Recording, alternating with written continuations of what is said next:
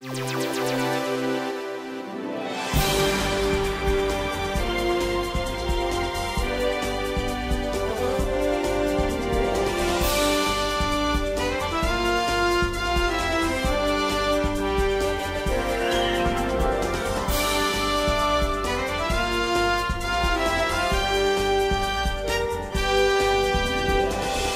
Metroid Prime 4 right around the corner. Oh. 開発を最初からやり直すことに近いことになりますので。Oh well. With Metroid Prime 4 right around the next decade, then, I thought it appropriate to have a little review of the evolution of Samus's animation, focusing on interesting details throughout her history. Nintendo have a diverse range of properties, from more cartoony games like Kirby and Zelda, to more serious games like Star Fox and Zelda. With a harder edged, more serious and long running sci fi series like Metroid, how have Nintendo kept Samus's animation fresh, unique, interesting, and consistent? Let's take a look. So, starting with Metroid in 1986, we're shown Samus is the type of character to always be alert and confident, to have her gun always at the ready pointing forward. She runs with purpose, she's versatile and acrobatic. She is quite literally a woman on a mission, and there's always a sense of power and confidence in her moves, even as early as this in 1986. Metroid 2 gave much more detail by introducing the idea that Samus is right-handed, or right-gunned, by having a different sprite depending on which way she's facing. This affected all her actions, showing her gun when facing right, and her hand when facing left. And you can clearly see now that she's holding her gun, steadying it, always poised to fight feet on tiptoes, ready to push off and run. Another curious detail you might miss is the fact she has one frame during turning a different direction. Nothing much, but it's a start of understanding her form and figure. She has a number of new moves, such as being able to crouch, being able to shoot down when in the air, her missile hatch now opens when equipped, and the space jump kinda gives this smeary, speedy effect when somersaulting, something we'll see more of in future. Colour limitation on the Game Boy forced designers to give suit upgrades a more visual difference, resulting in the iconic Varia suit blah blah blah, but we all know that anyway. It seemed a more solid understanding of Samus's shape, presence and abilities were being explored. Super Metroid was on a new powerful system, allowing sprite animation to be much more comprehensive, with Samus's run cycle, for example, inflating from a mere 3 frames to a whopping 10 frames she still has this confident straight back that's been established, and running kinda results in this very determined bound, with arms fully pumping.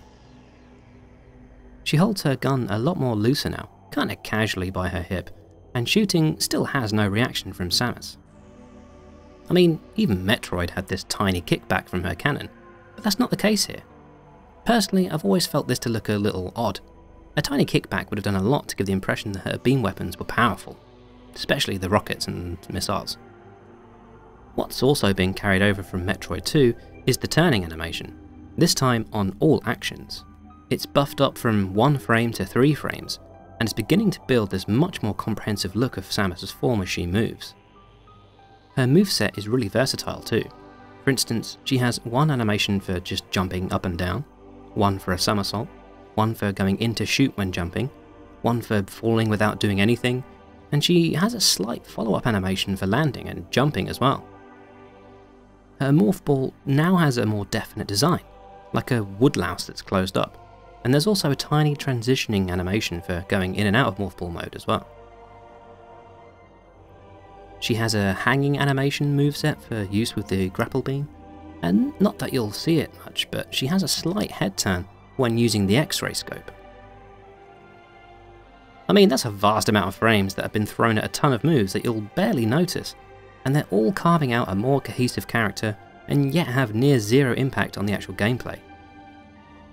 I mean, she has a breathing animation which gets more intense when she's lower on health for Ridley's sake. Okay, so before we get to the double hit of Metroid Prime and Metroid Fusion, let's cast a quick glance to Samus's single outing on the N64 in Super Smash Bros.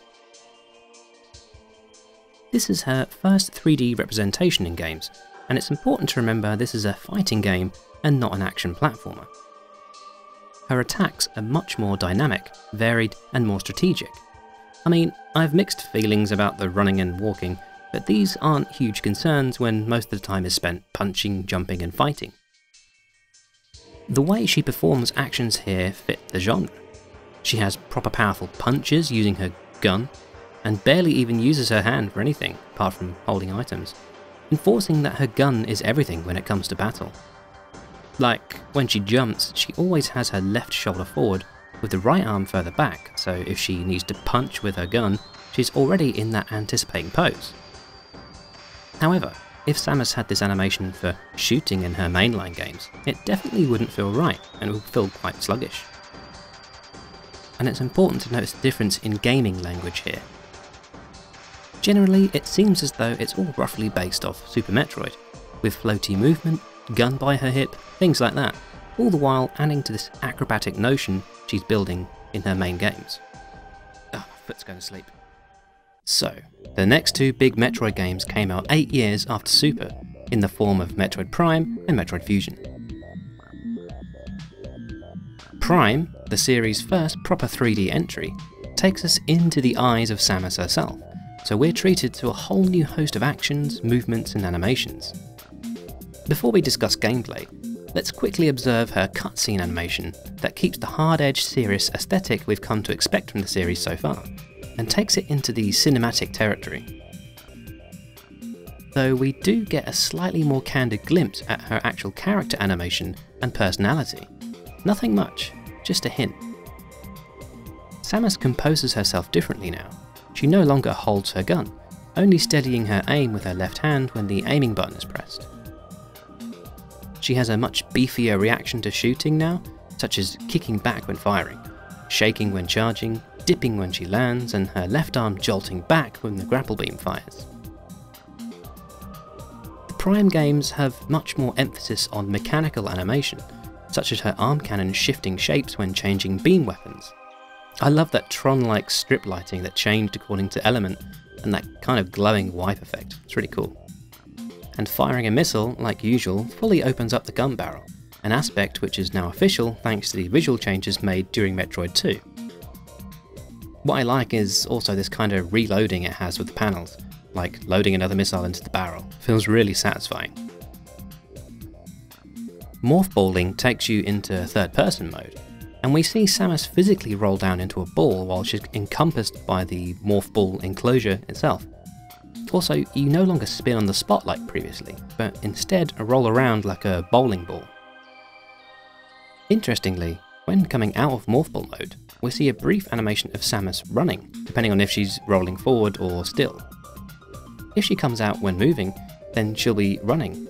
And as we can feel when playing, Samus doesn't really run anymore. Not in the same way she used to at least. It feels more like a brisk walk or a jog, if there was a run button, like there can be in other first person games, you might expect her to lower her gun to enable that pumping of the arms for more speed, but that's not so here. And that's likely because this is less a first person shooter and more a first person adventure, with shooting. Which is why we no longer have any somersaulting going on. So we still get a sense that Samus is confident, but due to the style of gameplay, we no longer feel that she is as nimble or acrobatic as before, with these ideas instead filled in by her cutscene animations. And finally, I'd just like to emphasise how the visor is much more important in the Prime games, and the interface and interaction the visor has with the surroundings, such as scanning, rain droplets, steam fogging up your display, the reflection of Samus's eyes in the glass during darkness, and the digital interference when facing drones and ghosts, are all part of this new experience we go through that greatly enhances the atmosphere of our adventure. So many things are carried over from Super Metroid into Metroid Fusion, such as turning animations and the rolling woodlouse ball and aiming and everything. Although she only has that one jumping animation regardless if she's firing or not. Except now we've got a new hanging animation, complete with respective sprite work for which side she hangs on. Perhaps the lack of her heavy armour has allowed her to be more light and nimble, which is why she needs a power up to hang in earlier games. Who knows? Samus reacts to her gunfire now, And curiously enough, Samus holds her gun from beneath, unlike previously where it's been steadied from above. She kind of holds it more like a shotgun now. The actual run cycle speed is a little slower this time, resulting in more of a jog than a run, and Samus appears to be much more hunched over too. Her weight feels much heavier in this game compared to Super, something a lot of gamers pick up on and generally prefer. Maybe the gravity's different on the space station to the planets. It's probably more to do with the Game Boy Advance's screen size, but it greatly affects the gameplay, particularly as the somersault animation is quicker than Super's as well. What I find really curious about Fusion is that during the opening cutscene, we see Samus as she appears in Super Metroid, moving in a similar way, straight back, three frames of turning as opposed to two during gameplay. It's a curious little detail that they kept her faithful appearance and movement from Super in Fusion, and this goes for when you face the SA-X as well. She retains that same run cycle, the green electric screw attack, the collapsing animation from Mother Brain. It's a really neat little crossover of visual ideas, which I don't think I've seen many places before, and it's really interesting they retained this here it feels much less like this game is an interpretation of Samus's moves, more than this is literally how she moves without her suit after everything she's been through.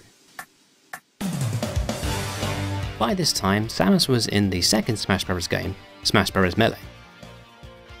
Movement is a little tighter than her N64 appearance, but the same notion applies that her movements are built around fighting game language than a tighter 2D platform experience and generally still seem to be based loosely around her floaty Super Metroid moves, although each subsequent Smash game would build upon her moves in the previous, evolving an almost separate style to her main games, but still holding true to the mechanical, nimble, confident character that's been built.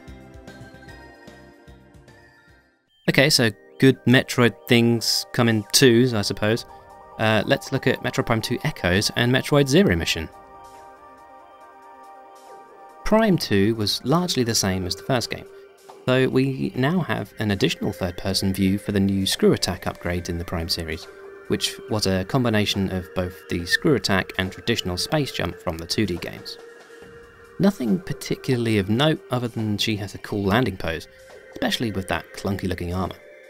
And the screw attack itself has this kind of like fizzing effect, it's kind of cool. We're treated to more personality and character animation in her cutscene stuff as well. Her vulnerability when first in Dark Aether is one of the few times we see her in this vaguely uneasy state, and it heightens our own anticipation of what's to come. We also see a bit more compassion, and we see that famous hand wave as she casually saves another planet while wiping out another species with no bother. Something to note by this point is that both Metroid Prime Hunters and Echoes featured multiplayer and this meant you could see a full-bodied Samus running around in third person. Running was basically an extension of the small part we see when going into Morph Ball mode, but we see a lot more, such as reactions to being hit, and the fact her upper body can pivot and aim while moving in different directions.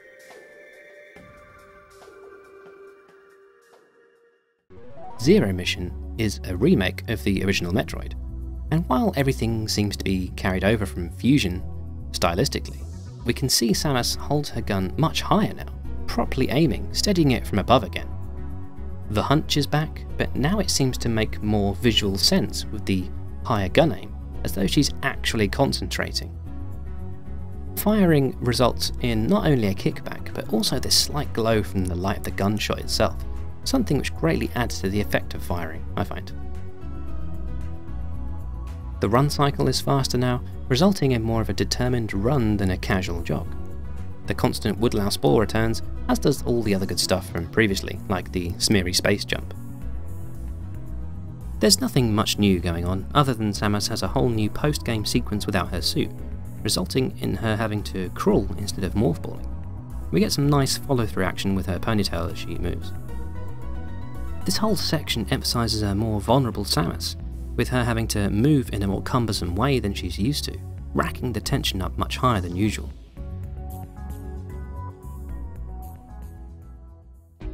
So has much change come Metroid Prime 3 Corruption? Not particularly.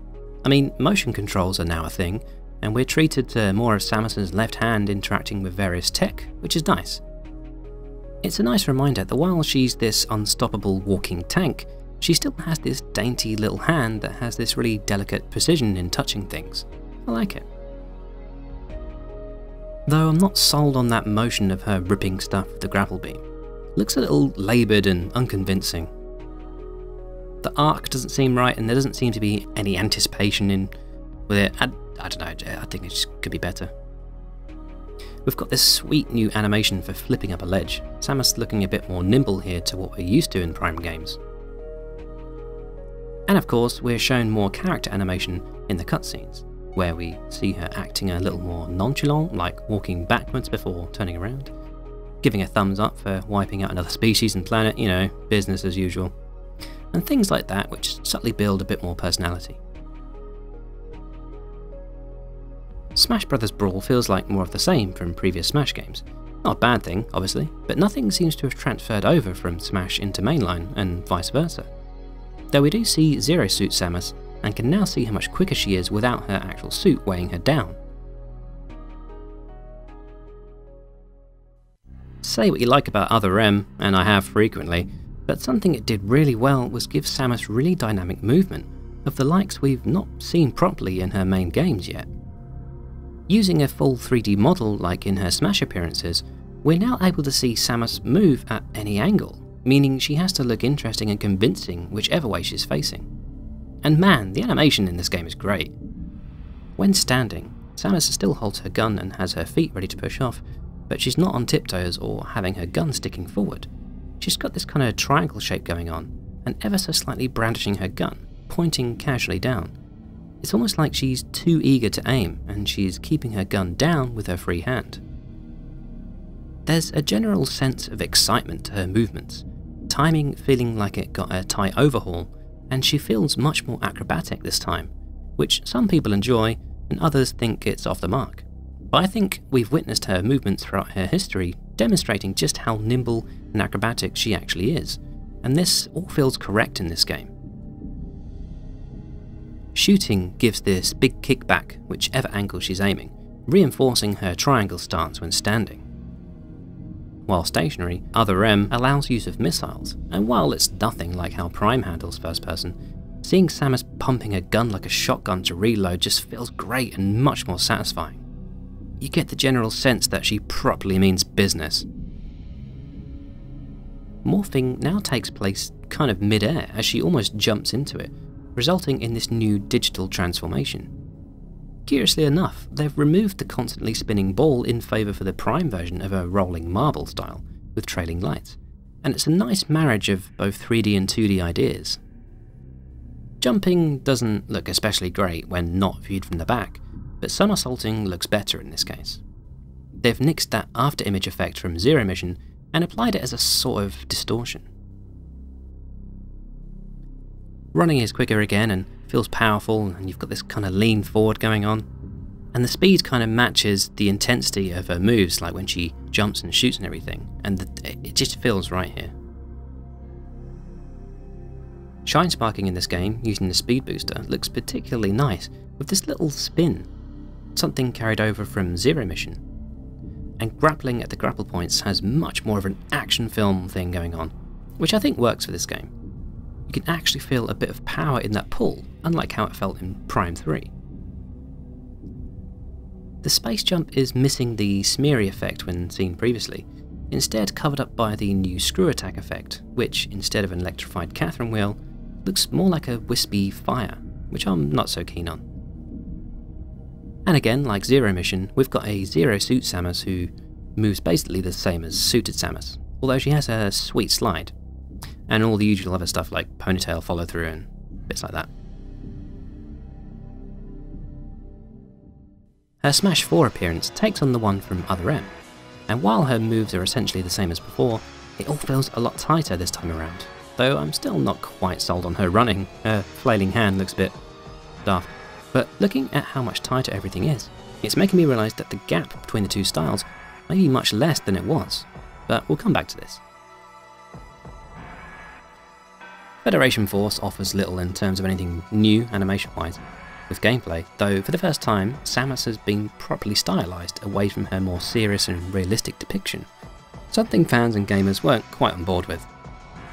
Though we are still shown that she's nimble and acrobatic in her cutscene animations.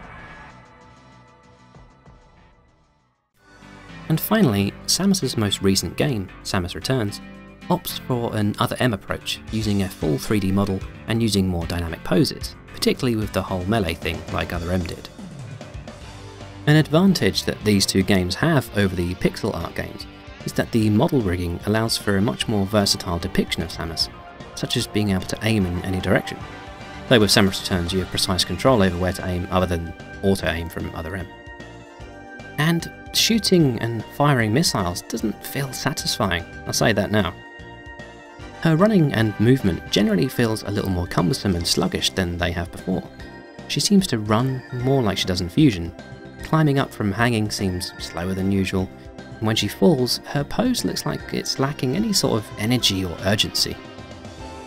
While she does still have kickback when firing, it just looks a little odd that it's just her upper body. Sure, she's strong enough to hold against the kickback, but even in Other M, where it was mostly her upper body reacting, we still had slight movement from her legs to steady herself. To be fair, it might just be the limitations of the capabilities of the hardware, and maybe the rigging's a bit more complicated than that from moving in any direction and stuff like that. Something curious I noticed is that the space jump no longer has a cool smeary effect when in use, and instead literally has Samus somersaulting constantly, something that's reused from Other M.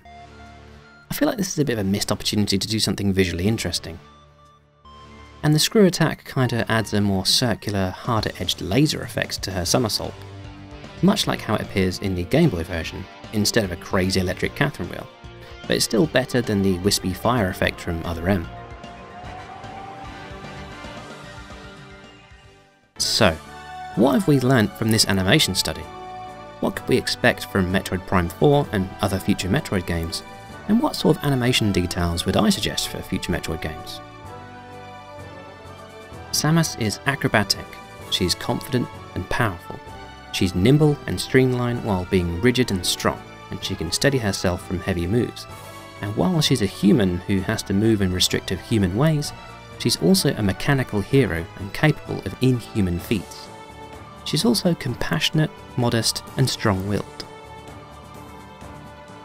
So, where will Metroid Prime 4 go?